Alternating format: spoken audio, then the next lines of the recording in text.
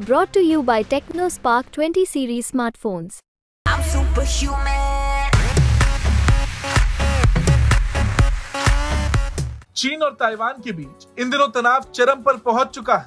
चीनी मीडिया में ताइवान को कब्जाने की बात तक चल रही है। लेकिन अगर चीन ताइवान पर हमला कर देता है तो आखिर क्या होगा?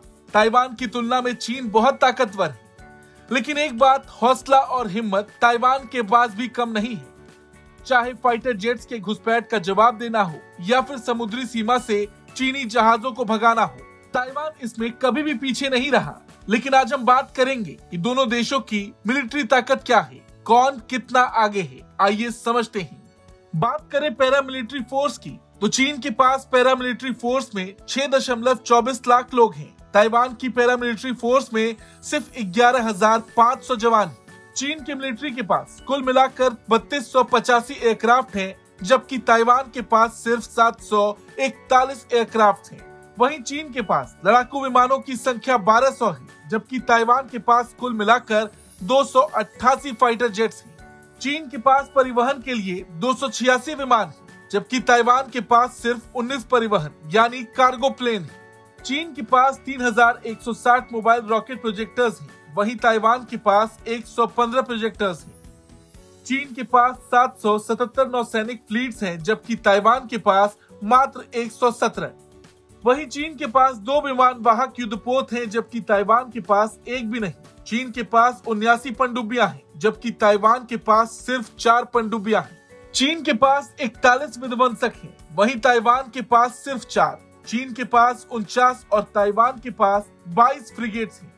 अब देखा जाए तो चीन हर कदम पर ताइवान से बहुत आगे यहाँ तक कि अगर हेलीकॉप्टर्स आर्टिलरी और बख्तरबंद गाड़ियों की बात की जाए तो चीन के पास 912 हेलीकॉप्टर्स में से दो सौ इक्यासी अटैक हेलीकॉप्टर्स हैं जबकि ताइवान के पास सिर्फ़ इक्यानवे अटैक हेलीकॉप्टर्स हैं। चीन के पास 5,250 टैंक है जबकि ताइवान के पास सिर्फ़ 1110 टैंक हैं। चीन की मिलिट्री के पास पैंतीस हज़ार बख्तरबंद वाहन जबकि ताइवान के पास तीन हज़ार चार सौ इकहत्तर बख्तरबंद गाड़ियाँ मौजूद।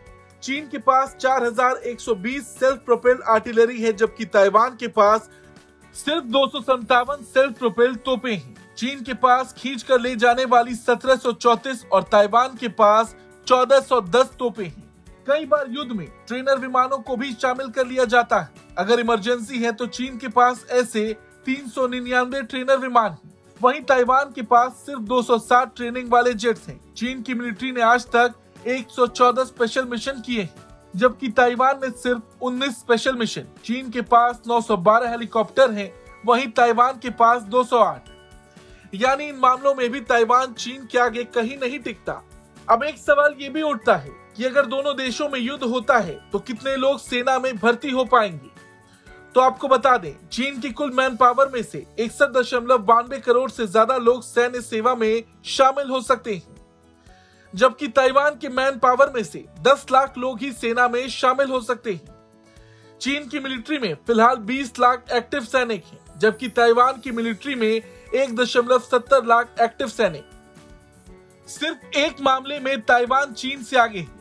चीन के पास पाँच दशमलव दस लाख रिज़र्व और ताइवान के पास पंद्रह लाख रिज़र्व सैनिक ताइवान रिज़र्व सेना के मामले में नंबर एक रैंकिंग पर है, जबकि चीन छठे नंबर पर वहीं अगर माइंड वॉरफेयर पेट्रोल वेसल और एयरपोर्ट्स की बात की जाए तो चीन के पास 507 और ताइवान के पास सिर्फ़ सैतीस एयरपोर्ट्स हैं।